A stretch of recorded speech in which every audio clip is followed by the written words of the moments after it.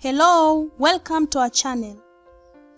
Guinea Conakry, President of the Transition Colonel Mamady Doumbouya has taken steps to end ousted President Alpha Conde's exile in, in Turkey. The military government ILA allowed the 84-year-old to travel a year after the coup for what they referred to as humanitarian reasons.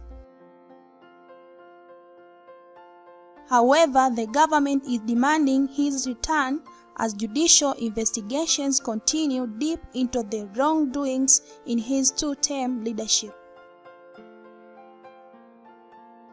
Doumbouya has commenced a crackdown on Turkish conglomerate Al-Bayrak, mounting pressure on the government to return Conde to Guinea.